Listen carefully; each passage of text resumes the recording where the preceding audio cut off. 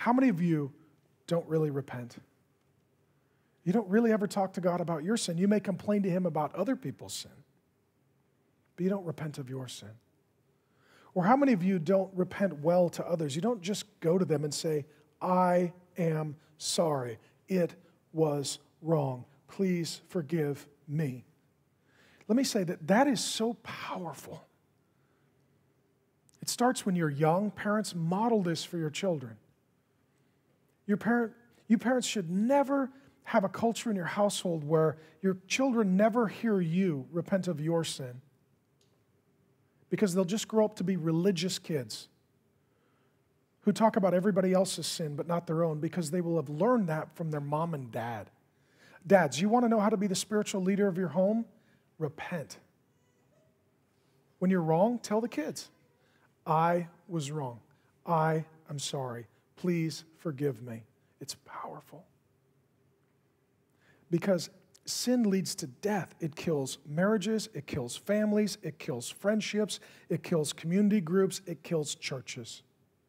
So the sin will either kill the relationships or Jesus' death will allow the sin to be put to death so that the relationship between God and the person and God and other people can continue. I tell you, I had two of the more encouraging conversations of recent memory in this past week. And I won't divulge all the details, but it was two people who had sinned. They had sinned. And one person understood that they were sinning against their spouse in a way that was not yet devastating, but was escalating.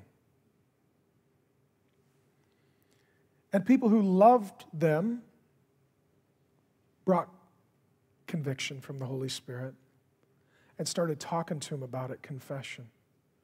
And there was contrition on their behalf. Oh, you're right. Look what I'm doing. This is really dangerous. And they changed in the grace of God. So I, I, I got to call them this week. How are you doing? Good. Jesus has forgiven me. My spouse has forgiven me. Our community group has forgiven me. And I'm grieved by where I was, but I'm so glad for where we're going. And there's hope, and I'm not alone because I'm loved. Isn't that wonderful? Another person I met with this week, there's sin in their life. Sat down, had a meal with them, looked him in the eye. Okay, I love you very much. I have a few hard words. I don't know how you're going to take them. Here's what I see. This person responded, very humbly, um, very kindly. And at one point they said, Thank you. And in the midst of the conversation, they basically said in their own words, I want to be like Jesus, so thank you for helping me be more like him. I started crying. They started crying. Two guys at breakfast, publicly. I thought, wow, okay, there's, there's a conviction there. And they say, I want to repent. Praise God. So when we're done, it was, it was actually a deeper friendship. You know why? Jesus died, so the friendship didn't have to. They gave me a hug. Not a big hugger, but I got a hug. You know that Jesus was involved when sin ends in a hug, right? You know that Jesus was involved. And so when Jesus says, go out and preach repentance, he's inviting people to experience a whole new way of life.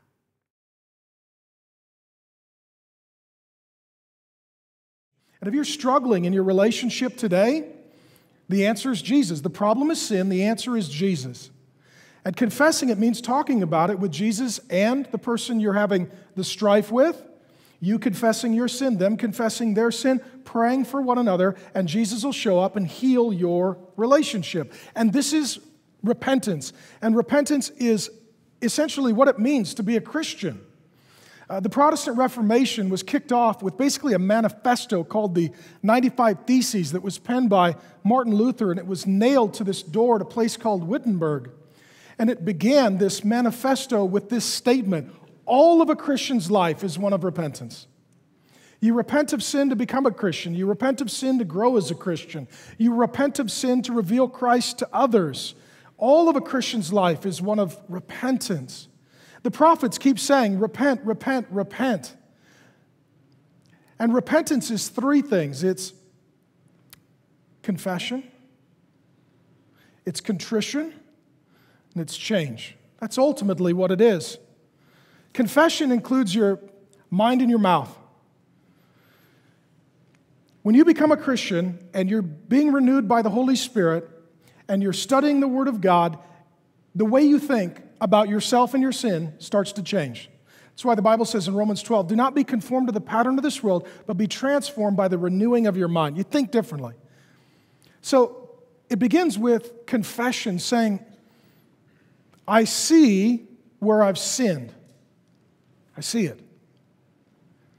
My mind thinks differently about my behavior. Some of you used to do things that you used to brag about or boast about, and now you're ashamed of. Right? That's confession that comes out of conviction.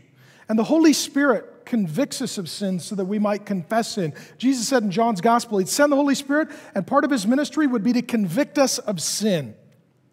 I know that the Holy Spirit will give to each of us, myself included, something, some issue, some instance, some relationship.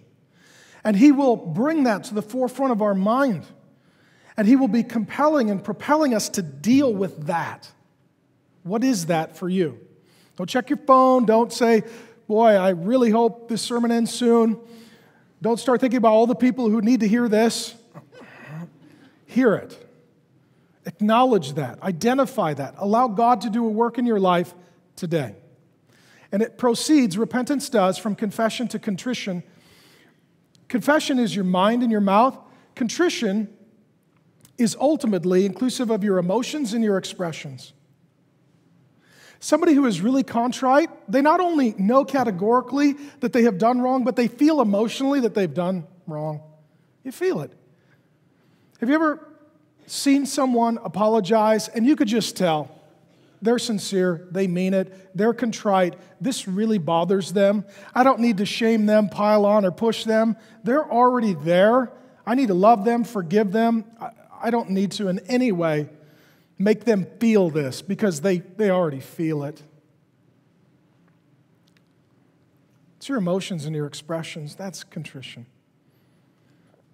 For those of you who are parents, you can help develop your children in relationships by when they sin, name the sin. Don't just say, You sin. Tell okay, here's what you said or did or didn't say or do. Here's what it was.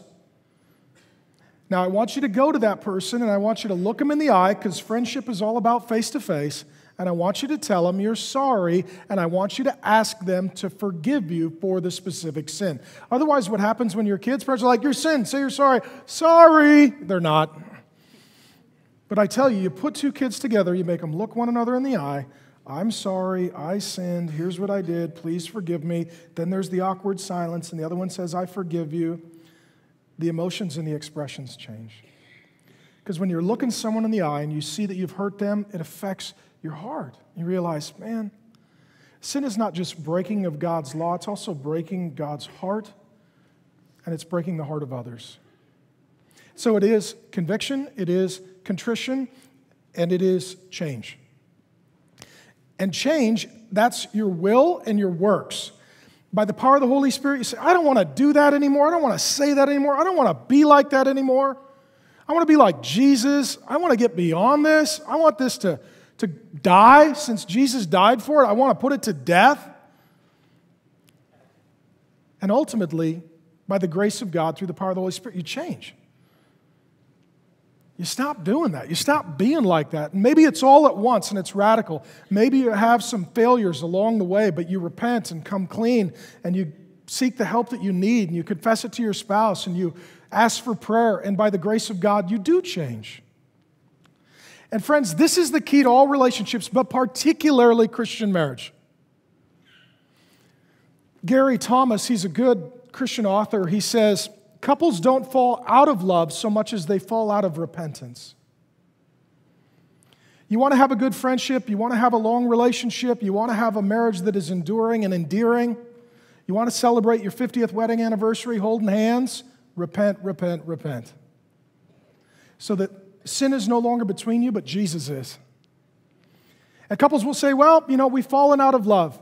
No, you've fallen out of repentance. Because it is, it is difficult to remain loving, trusting, and intimate when you or they are unrepentant. But when you're both repentant, the love flows freely and the trust grows daily.